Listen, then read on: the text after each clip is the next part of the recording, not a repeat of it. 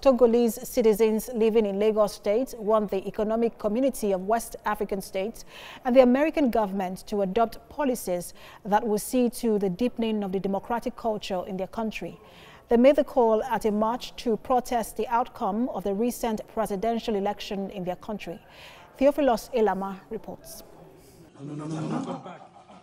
In February this year, Togo's president Faure Gnassingbe controversially won re-election according to preliminary results from the Electoral Commission.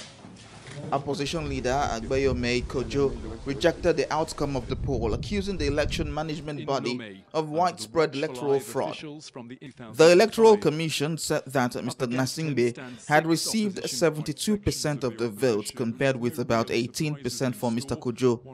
Mr. Gnassingbe has been in power since the death of his father, Gnassingbé Eyadema, in 2005. Togo is the only country in the ECOWAS community now where you have uh, the same family ruling for 54 years.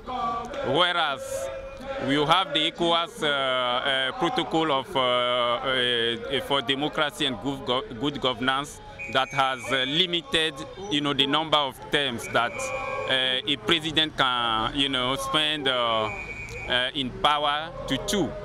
But why are ECOWAS leaders, you know, uh, closing their eyes on what is happening in Togo? While the United States and world bodies have faulted the outcome, they have called for a peaceful resolution of the crisis.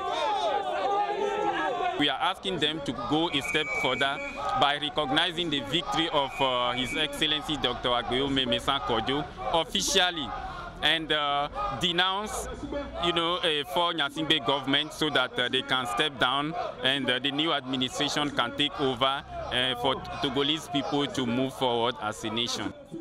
This protest is just one of many that have taken place in several countries where Togolese have a healthy diaspora population.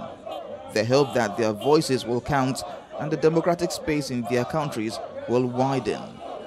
Theophilus Ilama, TVC News, Lagos.